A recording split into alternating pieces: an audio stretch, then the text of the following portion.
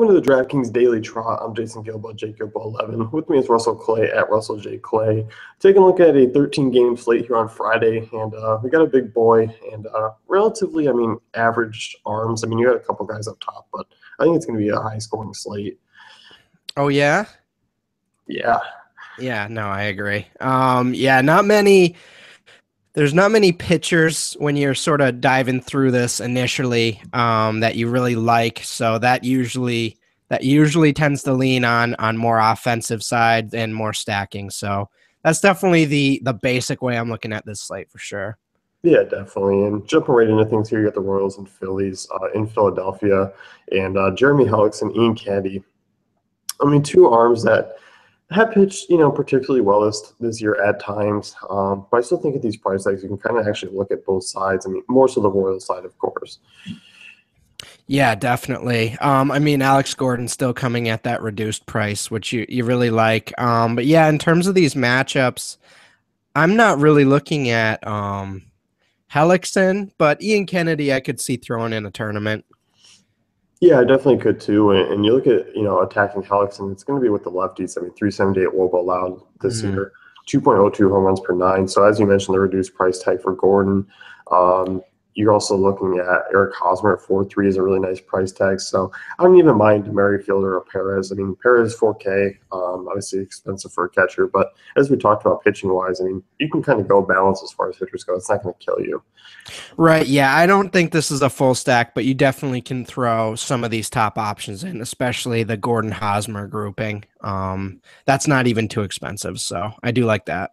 Yeah, definitely. And the only real Phillies name that stands out to me is Odubel Herrera at 4,300.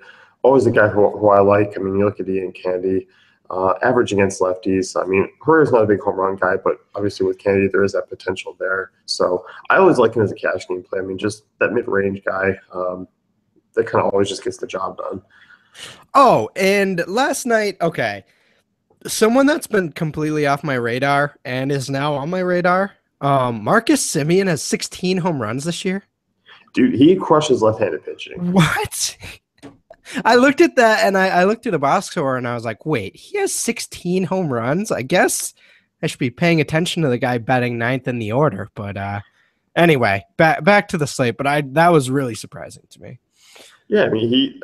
I mean we talked about possibly a couple of guys getting a Bumgarner and they did. So, mm-hmm. um, I mean I would have rather actually used Bumgarner as a hitter last night. I know, right? Unbelievable. Cubs and Mets. Next one here: Jason Hammel versus Jacob Degrom. Um, obviously, it, Degrom. I mean, gonna have a tough, tough matchup here. For me, I don't really think uh, hitters are going to be guys I'm, I'm, chasing here on a full slate. Um, mm-hmm. Not at a Rizzo price tag or Bryant. I mean, obviously, I think they can get to Degrom, um, but I don't really see myself taking that chance on a on a full game slate. Yeah, I mean, you got to like Rizzo just in general most nights, but DeGrom's obviously strong arm, and I, I could see throwing him in in a deep tournament where you're just trying to get weird, but uh, in terms of pure process, you're not really looking at him. No, and as far as the Mets bats go, I mean, Jason Hammel's a, a decent right-handed arm, and yeah. they are cheaper, but really, I mean, this lineup's bad, and I don't really see myself going towards any towards you know any sort of offense with the Mets. I, I kind of danced around with Neil Walker for a little while, but uh, he wasn't my style, so I just got a new one. You know, I got a new partner. Yeah, you were. He was a little bit more salsa. You know, yeah, I was more like contemporary. Yeah, yeah, whatever. Tigers and Rays. The next one here: Michael Fulmer versus Drew Smyly. Um, you know, this game last night. I mean, the Tigers put up all sorts of runs, um, but it really mm. wasn't from any of their main guys. I mean, Maybin had the big hit in the ninth. Uh, it was a lot kind of chipping away at the back end. It wasn't anything major. Drew Smyly kind of gives you that upside. I mean, Smyly's pitched good at times this year, uh, but overall, I mean, there's a lot of home run pop uh, from that right side. I mean, 1.94 home runs per nine to the lefties this season from Smyly. Who who was that guy in the comic books that had the the like he had the beams come from his face? There's burn. You know what I'm talking about? Yeah, I that do. was that was me to Justin Upton, twenty nine hundred. Um, what I don't understand that price. So, I mean, fifteen hundred to twelve hundred off the rest of the prices in that lineup. He's definitely someone I'm going to be looking at throwing in there. If you start off with him and Alex Gordon, I think that's a nice start. Yeah, I mean, you got some cash to really spend up on the infield and a third outfielder. And yeah, 2100 I mean, obviously Upton's boomer bust, but at that price tag, it makes it a little easier to kind of accommodate uh, having that Yeah. zero if he does get you there. Because, I mean, obviously Smyly can be a guy who can pitch well at Yes. times. But uh, I like these price tags. I mean, um, I like a Maybin at 4100 Cabrera a little expensive here. I, I actually like, like Victor Martinez at 4100 a little more. But obviously, Mhm. I, I think one through six are certainly in play again. Yeah, they're definitely in play again. I, I'm just surprised by that Upton price. I figured he'd at least be three to four hundred more, but um, definitely taking that. Yeah, definitely. And uh, on the other side, I'm not really looking at the Rays against Fulmer. Uh, Fulmer, I think, is going to have a quality start tonight. I don't see myself using Fulmer uh, a ton just because the price is a little high. But um, for me, I'm not really picking on him. I, I think the Rays bats are going to go kind of quiet tonight. Yeah, definitely. Um, I- I mean, a Logan Morrison's a decent price, but you're not really targeting Fulmer in any any way, shape, or form. So not necessarily um, using them either way. Yeah, definitely. And uh, moving on to the next game here, got the Angels and Red Sox. Mm. Um, Chacin versus Steven Wright, and uh, big big Vegas run total there for the Sox, and obviously they're Yeah. expensive as usual. Um, Hanley questionable, but should be actually good to go today, depending on what his status is. Um, obviously, Chacin's a, a, a target against. I mean, 325 well, over to lefties this year. Righties have actually hit him a little bit better. 347 um, in that ballpark. You know, I think you look at the Sox offense; it's been kind of quiet of late. I think they kind of bust out. This, yeah, this is a night to stack the Red Sox for sure. Um, and feel relatively confident about it. I mean, you can go one through four. I wouldn't fade Ortiz tonight in favor of Hanley. So I'd be, I, I mean, if you can throw those in there, you're obviously going to be having to look at some cheap pitching options. But I, I actually think that's a really viable thing. And then, I mean, Bryce Bet, Bryce, Bry, Bryce Brentz has actually been doing really good lately. And while obviously he's not the min price he was last week, um, where he was just dominating, I- think he's actually still viable along with Travis Shaw. So, um, I, I mean, I'd be looking at a full stack from this team. Um, if, if you can make it happen, if you decide you like some of these seven to eight K pitchers, um, which I mean, there's a lot of them. So, there might be some viable options here, and that might be a viable strategy. Yeah, I think so too. Uh, and obviously, I mean, you look at these guys. I mean, Betts at fifty three hundred, expensive. Pedroia at four nines, expensive.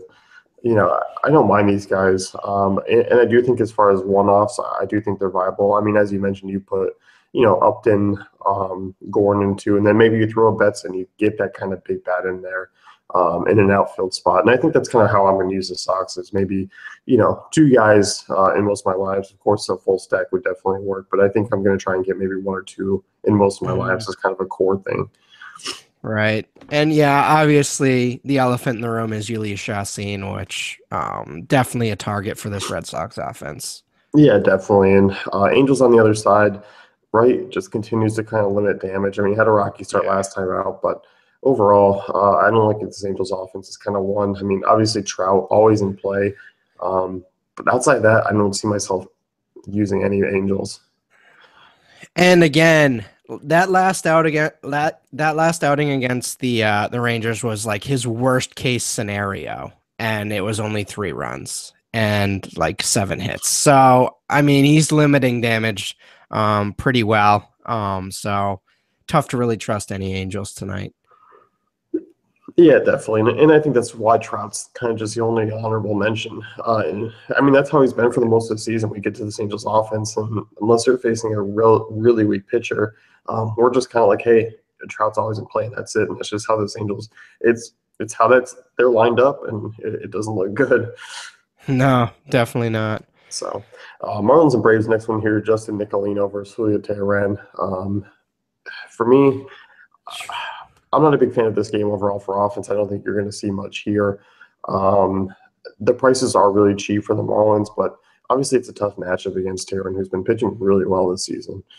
Yeah, I mean, he's just not a guy you really target anymore. Um, not that you even were at the beginning of the year, but I don't think we expected this. You know, he's been borderline dominant here over the last month and a half. So, Um, I'm not. I love this Marlins lineup. You've heard us talk about them pretty consistently over the last few weeks, but this is. I don't think this is a night to sort of go at him. Um, and then Nicolino. I mean, he is he is bad. Um, but he is a lefty, so you wonder how much that negates some of the advantage um, for the Braves. Obviously, Freeman um, in play at 3,900, even though it's a lefty. Yeah, I think so too. Freeman at that price in play for me. As you mentioned, Nicolino, not a good arm by any means. Um, I, like Jeff Francoeur, 3,300, nice cheap outfielder with some pop. Mm-hmm. Obviously hits lefties pretty well. Uh, and you look at Nicolino, I mean, as you mentioned, not a ton of righties in this lineup, but if they do throw in some extra guys there, Nicolino allowing a 373 uh, woba to right handers, 40% hard ball rate. So they're teeing off from the right side. So you're kind of looking, you're kind of hoping Adonis Garcia would be a little bit cheaper, but 4,300's that's kind of a steep yeah, price that's crazy. The, and and it's like the probability that the Braves get eight or nine hits, I actually think is pretty good, but I just think they're going to spread it out throughout the lineup, and that doesn't really do much for you. Yeah, definitely. And uh, yeah, I, I just think this game's going to be kind of pretty weak. Uh, I think just Jeff Francoeur is the only guy that I'll take the shot with. Right.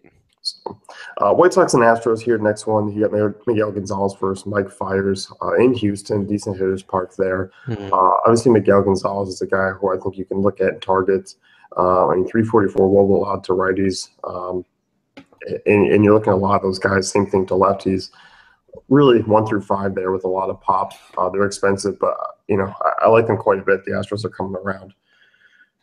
Yeah, they definitely are. Um, so I mean, Valbuena, Rasmus, those even are decent options at this stage, especially against a weak righty. So that's that's what I'm looking at there. And obviously, um, George Springer is a decent option. Um, so I, I, think out of the three high end options, that's that's who I'm going to be targeting. Um, but beyond that, it's really just um, the the lefties in that lineup for me.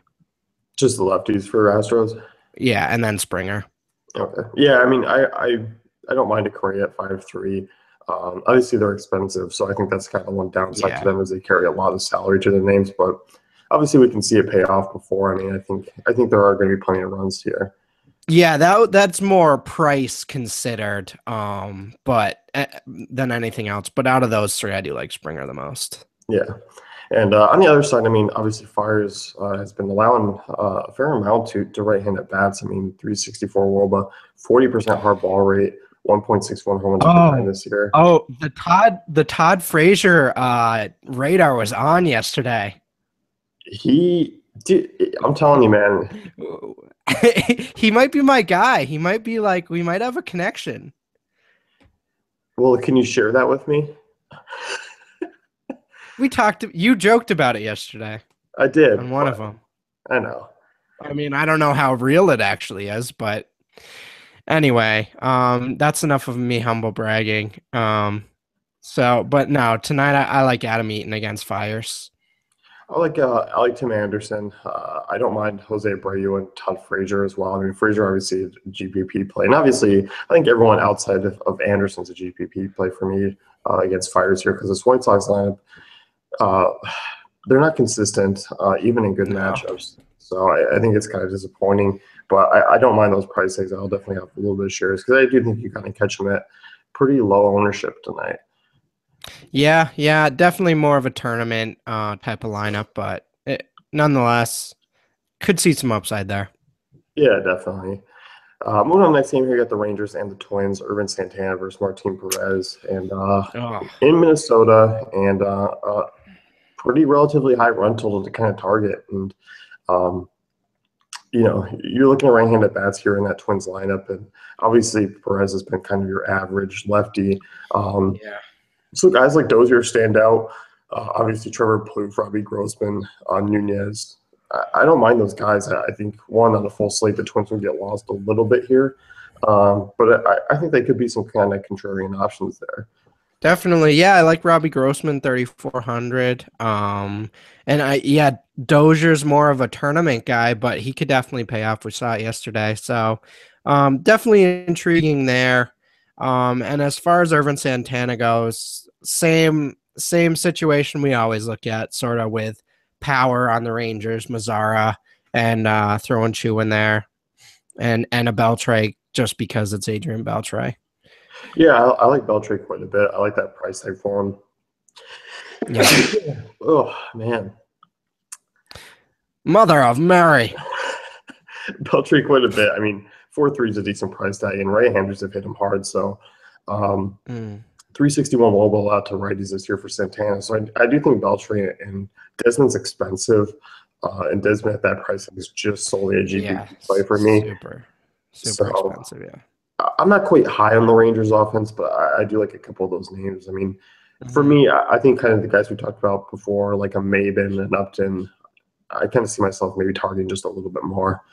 Yeah, I agree. Um, I I just you look at this game and I could just see it being a seven to ten game, just annoyingly, um, with some of the back of the end of the lineup guys sort of pitching in quite a bit. So that's kind of what I see from this game, not necessarily a targeting individual guys, other than a few in the Twins lineup.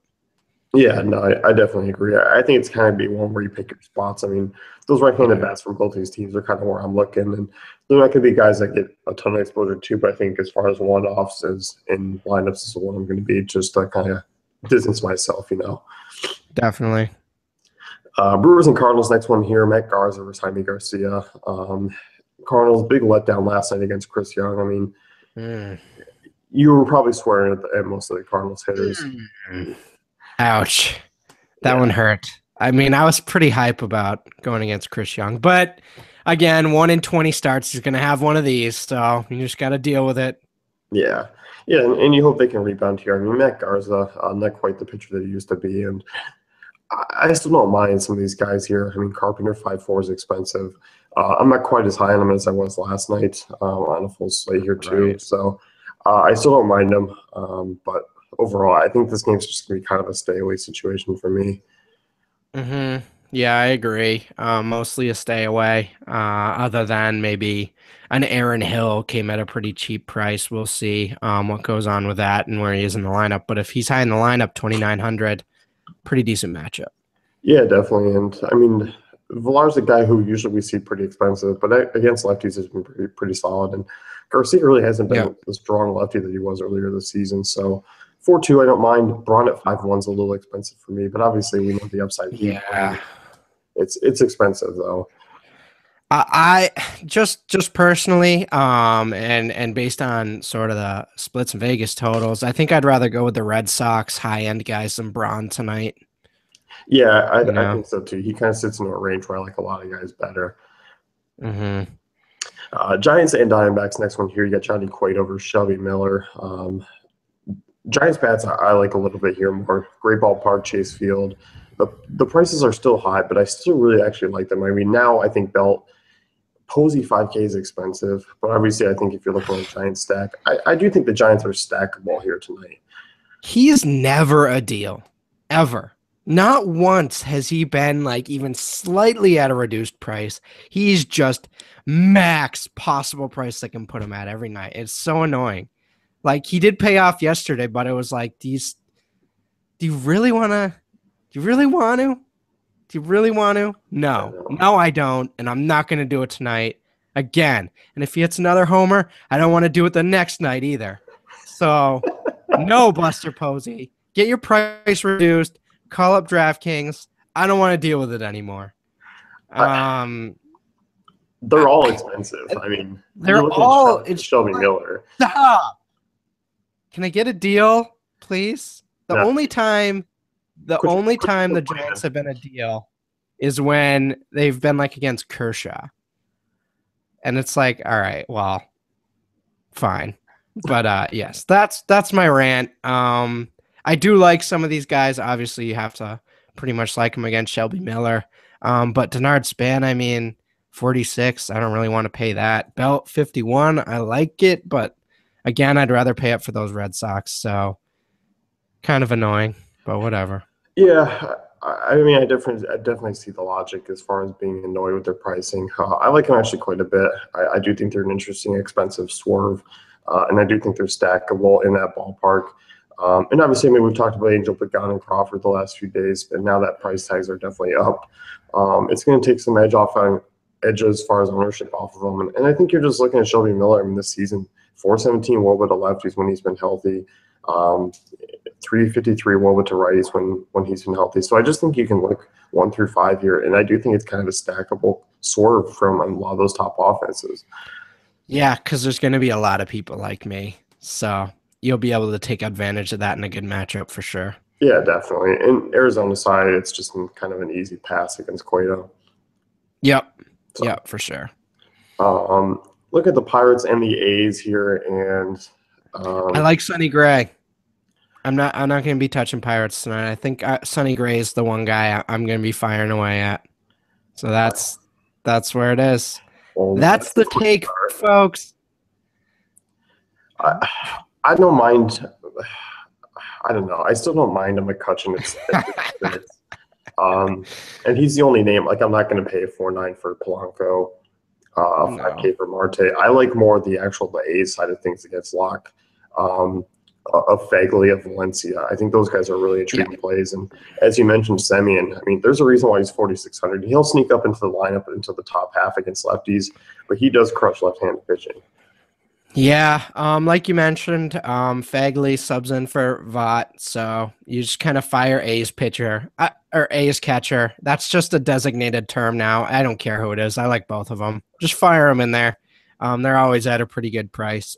They're they're like the superhero to the uh, villain of Buster Posey, who's always overpriced and upsetting. So that's your superhero drama for the day. Um, you look at Locke. I mean, 357 will allowed to right-handers, 1.27 home runs per nine. We've seen the A's put up, you know, sizable yeah. runs, and, and I do think I like Valencia at the price tag. Uh, Chris Davis, if he's back into the lineup, um, in Phegley and Semien are definitely all in play for me. Yeah, so so we're actually kind of looking at the end of that lineup. Yeah, definitely. Yeah.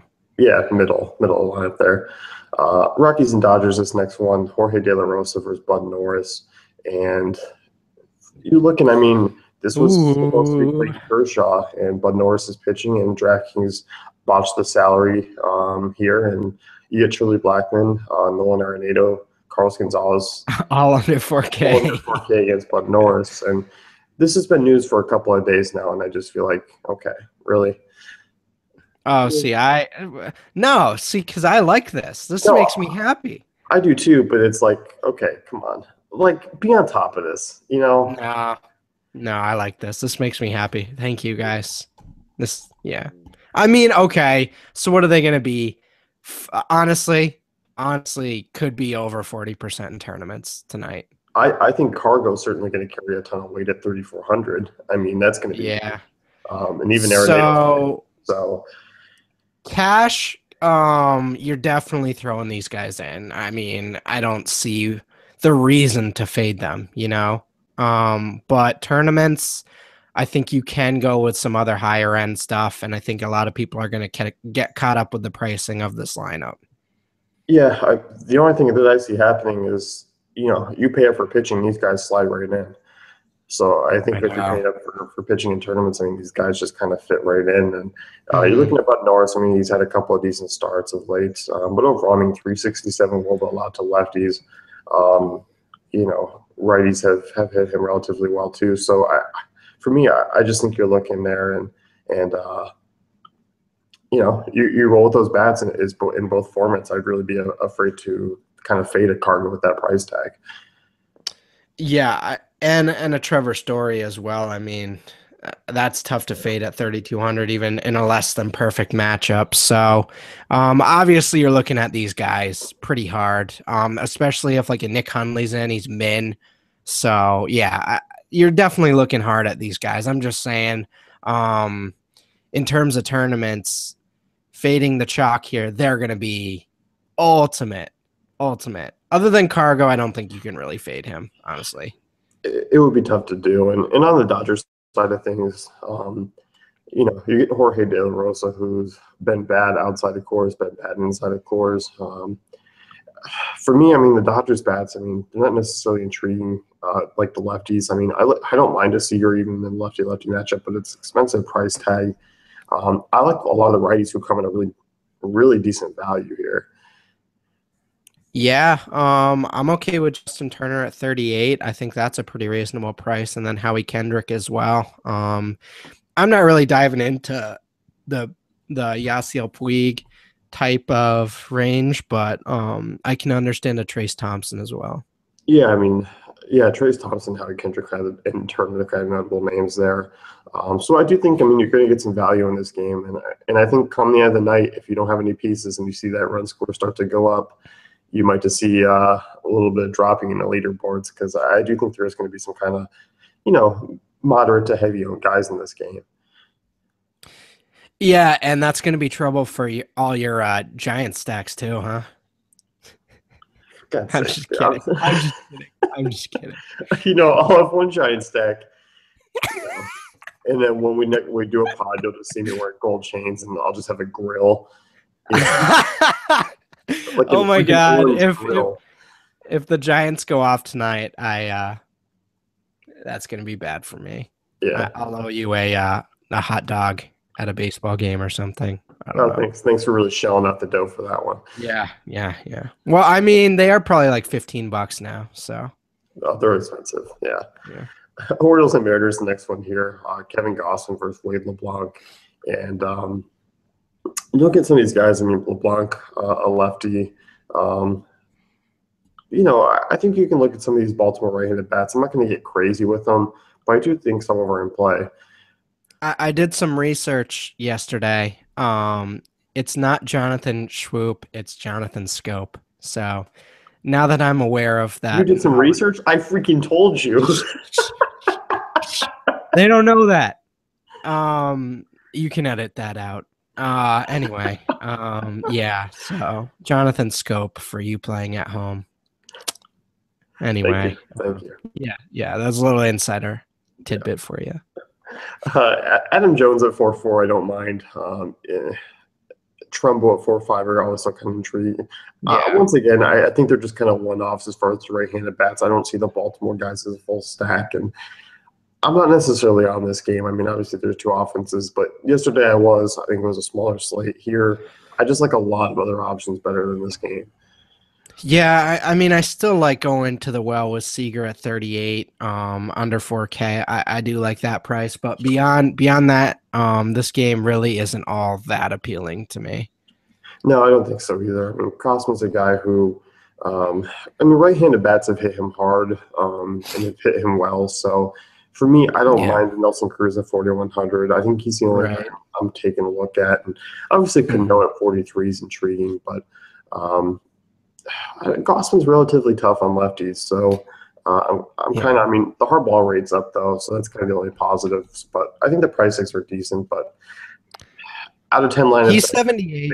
He, he's he he's cheap, but it's not like he's a he's a horrible arm. You know, he yeah. he can do some. He's got he's got a little. uh He can cause a little problem for for this Mariners lineup. Yeah, I think so too. Um, moving on the last game of the night here, you got the Yankees and Padres. Mm. Nathan Eovaldi versus Colin Rea, and um, yeah, Nathan Eovaldi hasn't really been good. Um, no. Obviously, he's tougher on righties than he is on lefties, but um, he's even righties up a, a, a, lot of home runs. And it's not like Petco's been like keeping them in either. I mean, we've seen some yeah. home runs uh, in Petco this year, and uh, yeah, I'm not a fan of Eovaldi. Um, I mean, obviously the price tags are really high for the Padres, so I think that's the downside for me there. Right. I, I mean, I I'm really looking at a Matt Kemp here. Um, even righty on righty, I think I think it's a decent matchup for him at only 4100. So I think that's the guy in that lineup. I, Wil Myers has obviously proven himself this year, but um, for 1300 more, that's and at first where you could play Ortiz instead. I, I think you just make that swerve there. Um, but I, I definitely do like Matt Kemp, and I do think he's in play. Yeah, and I mean, Yankee side of things, I mean, they're relatively moderately, whatever you want to call it, kind of underpriced, I think maybe you could say. I mean, or accurately priced. I mean, Ellsbury yeah. Gardner in that 4K range McCann's a Mm. little expensive for my taste, but um, lefty power impact goes pretty neutral. It's pretty average. So uh, I don't mind those guys there. Uh, and Castro 3 3 is intriguing. Yeah, and I mean, you got Teixeira sitting there at 32. So I, I like the Gardner Teixeira grouping there. Um, but beyond that, um, I think you're sort of looking for higher upside with your lineups tonight. And there are some deals, as we mentioned earlier. So um, uh, that's not necessarily a lineup I'm trying to stack. You're not trying to stack either of these teams. So Gardner No. Teixeira and then and then a Wil Myers are the guys I'm looking at this game. Yeah, and I think you know overall, um, as we mentioned with the the Colorado grouping, um, it, that takes kind of a lot of guys in this price range and those late games kind of Yeah. out of play a little bit. Uh, and I think there are swerves I think you can mix and match together. So, you know, as usually we kind of focus in on the seven o'clock games. I'm not really afraid to kind of target and go after the late slate there. Yeah, and I guess one more thing um, before we go. The end of the Padres lineup here with with Schimpf and uh, Dickerson, if they're in the lineup, lefties versus Eovaldi. I mean, are those punt plays you're actually looking at and viable, or is that not something you're actually entertaining? Uh, if I need them. Um, but I mean, to be honest, I, I just think as we mentioned with Upton, um, the Yeah. Colorado bets, Twenty nine hundred. they're not punt plays as far as prices. I mean, Upton's kind of like that, but those are going to be my type of punt plays. Uh, I just think I don't Yeah. need to, to stoop down to a level that low uh, on tonight's slate with kind Mhm. of how the pricing works. But I, I think if you are looking at a Red Sox stack or, or a Giant stack, you might have to do something like that. Yeah. So let's wrap things up here with the DK Daily Trot. Be sure to check out DailyFantasyCafe.com for all great tools and content.